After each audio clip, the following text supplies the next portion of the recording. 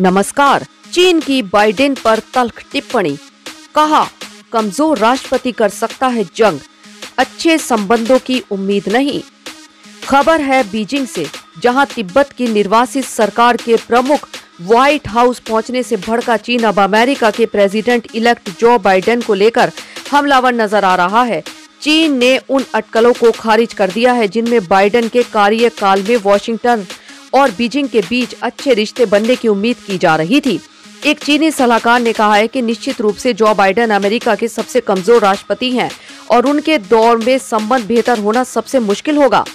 चीनी सलाहकार Zheng Yong she ने कहा है कि दोनों देशों और दुनिया को भी फ़िलहाल यह भ्रम छोड़ देना चाहिए।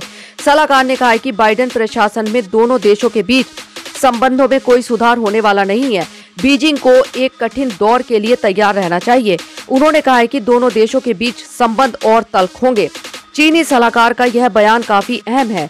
चीनी सलाहकार ने अपने इस बयान में यह संकेत दे दिया है कि अमेरिका और चीन के बीच मन मुटाव दो नेताओं के बीच का मामला नहीं है, बल्कि यह मतभेद वैश्विक चुनौतियों एवं प्रभाव को लेकर है।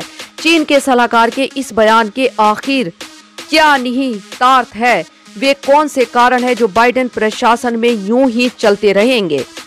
झेंग योंगशिया ने कहा कि निश्चित रूप से जो बाइडेन अमेरिका के सबसे कमज़ोर राष्ट्रपति हैं, उनके समक्ष घरेलू और राजनयिक मोर्चे पर अनेक चुनौतियाँ विकराल रूप से खड़ी हैं। उन्होंने कहा है कि बाइडेन व्हाइट हाउस में प्रवेश करने के बाद घरेलू समस्याओं के निस्तारण के बजाय अमरीकी जनता का ध्यान अन्य समस्याओं की ओर खींचेंगे। ऐसे में बाइडेन चीन के प्रति अमेरिकी जनता की नाराज़गी का फ़ायदा उठा सकते हैं। जेंग ने कहा है कि अमेरिकी समाज बिखर रहा। बाइडेन इसके बारे में कुछ नहीं कर सकते। बाइडेन के पास अमेरिका की इस आंतरिक समस्या का कोई समाधान भी नहीं है। वह इस समस्या से ध्यान भटकाने के लिए चीन की ओर उन्मुक्त हो सकते हैं। चीन की दीर्घकालिक रणनीति पर सलाह देने के लिए अगस्त में राष्ट्रपति शी चिंगपिंग द्वारा आयोजित एक संगोष्ठी में भाग लेने वाले जेंग ने कहा है कि चीन को लेकर अमेरिका में दोनों प्रमुख राजनीतिक दल एक मत है। झेंग ने अंडरस्टैंडिंग चाइना कॉन्फ्रेंस में एक साक्षात्कार में कहा है कि दोनों देशों के बीच अच्छे पुराने दिन खत्म हो गए हैं। उन्होंने कहा है कि अमेरिका कई वर्षों तक कोल्ड वॉर की मानसिकता में रहा है। अब भी वह उसी मानसिकता के साथ जीना चाहता है। उसने चीन के साथ भी एक नया कोल्ड वॉर शुरू किया है। झेंग ने कहा है कि कोविड 19 के संचालन अमेरिका और चीन, व्यापार और मानवाधिकार समेत ऐसे तमाम मुद्दे हैं जहाँ दोनों देशों के बीच गतिरोध बना रहेगा। उन्होंने कहा है कि चीन के खिलाफ अमेरिका में 300 से ज़्यादा विधेयक हैं।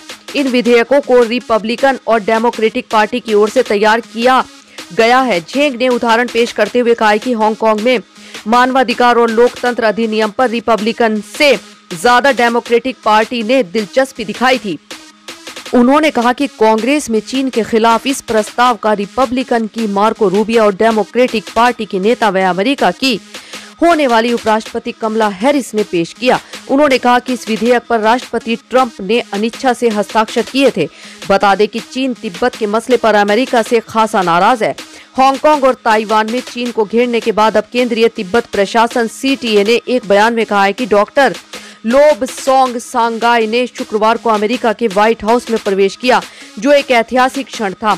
पिछले छह दशक में पहली बार सीटीए के प्रमुख को व्हाइट हाउस में आमंत्रित किया गया है। सांगाई ने एक ट्वीट में कहा है कि व्हाइट हाउस में औपचारिक तौर से प्रवेश करने वाला केंद्रीय तिब्बत प्रशासन का पहला राजनीतिक प्रमुख बनना बड़े सम्मान की बात है। सीटीए का कार्यालय भारत के धर्मशाला में है। सीटीए के अध्यक्ष सांगाई को तिब्बत मामलों के लिए अमेरिका के नवनियुक्त विशेष समन्वयक से मुलाकात के लिए शुक्रवार को व्हाइट हाउस आमंत्रित किया गया था। अमेरिका के विदेश मंत्री माइक पॉम्पियो ने 15 अक्टूबर को वरिष्ठ राजनयिक डेस्ट्रो को तिब्बत मामलों के लिए विशेष समन्वयक नियुक्त किया था। डेस्ट्रो अन्य विषयों के साथ ही चीन की कम्युनिस्ट सरकार और दलाई लामा के बीच संवाद आगे बढ़ाने पर ध्यान केंद्रित करेंगे। चीन ने डेस्ट्रो की नियुक्ति की आलोचना करते हुए कहा है कि यह तिब्बत को अस्थिरता प्रदान करने के उद्देश्य से की गई राजनीतिक तिगड़म है। डेस्ट्रो की नियुक्ति के बाद सांगाई ने उनसे मुलाकात कर तिब्बत के हालात पर चर्चा की थी। डेस्ट्रो सांगाई की मुलाकात के बारे में पूछे जाने पर चीन के विदेश मंत्रालय के प्रवक्ता झाओ लिजियान ने पिछले महीने एक मीडिया बीफ्रिंग में कहा है कि शी जोंग तिब्बत के मामले पूरी तरह चीन का आंतरिक विषय है। किसी बाहरी शक्ति को इसमें हस्तक्षेप नहीं करना चाहिए। धन्यवाद। समाचार के बारे में आप अपनी राय कमेंट बॉक्स में ज़रूर दे। लाइक और सब्सक्राइब करना ना भूलें और अधिक ताज़ा तरीन खबरों के लिए जुड़े रहे प्रखर गूंज न्यूज़ डेस्क के साथ।